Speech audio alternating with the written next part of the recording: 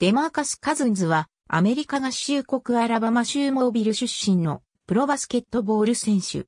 NBA のロサンゼルスクリッパーズに所属している。ポジションはセンター。高校在籍時、マクドナルドオールアメリカンに選出された。高校卒業後、最初はアラバマ大学バーミングハム校への進学を約束されていた。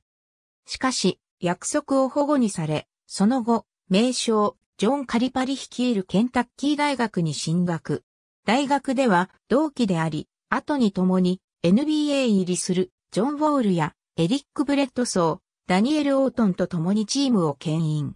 2010年の NCAA トーナメントにおいてベスト8の成績を残した。1年生終了後、2010年の NBA ドラフトにアーリーエントリーし、全体5位でサクラメントキングスに指名を受け入団した。キングス時代2010年の NBA ドラフトにおいて、サクラメントキングスから全体5位指名を受けた。ルーキーシーズンの2010から11シーズンでは、オールルーキーファーストチームに選出された。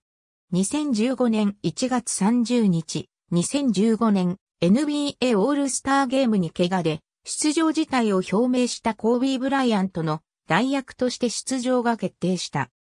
ちなみにキングスの選手のオールスターゲーム出場は2004年のブラッド・ミラーとペジャスト・ヤコビッチ以来となり、2014から15シーズンのオール NBA チームのセカンドチームにも選出された。2016年1月25日のシャーロット・ホーネッツ戦は自己最高の56得点12リバウンドを記録した。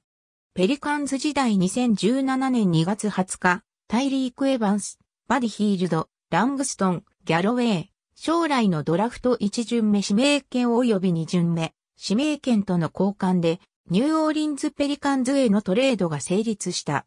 くしくもこの日は、カズンズの新天地となるスムージーキングセンターで開催された NBA オールスターゲーム開催日であった。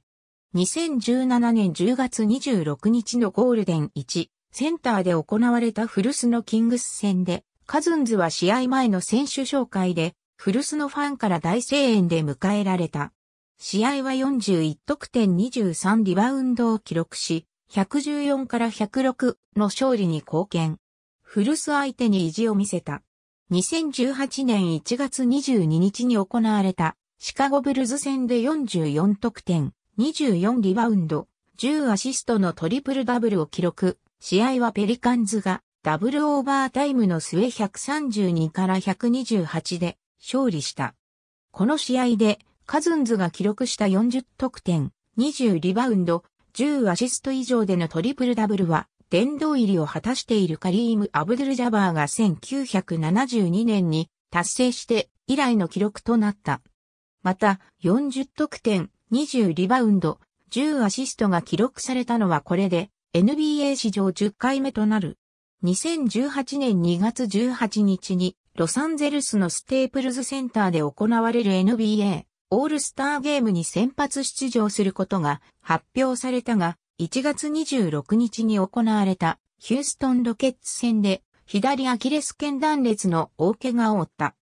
試合は115から113でペリカンズが勝利したが、翌27日、チームはカズンズが左アキレス腱の修復手術を受け、残りシーズンの全試合を欠場すると発表した。カズンズはここまで平均25.2得点、12.9リバウンド、5.4アシストを記録していた。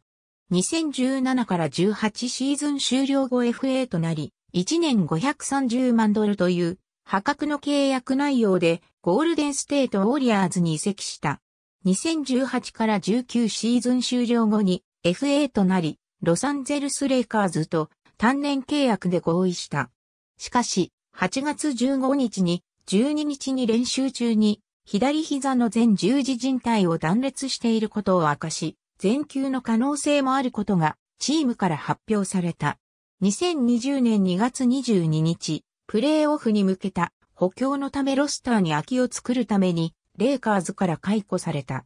2020年11月23日にヒューストンロケッツと無保証の単年契約を結んだ。2021年2月23日にロケッツから解雇された。2014年 FIBA バスケットボールワールドカップのアメリカ代表に選ばれ、優勝、金メダルを獲得した。2016年のオリンピックでもアメリカ代表に選ばれ金メダルを獲得した。ありがとうございます。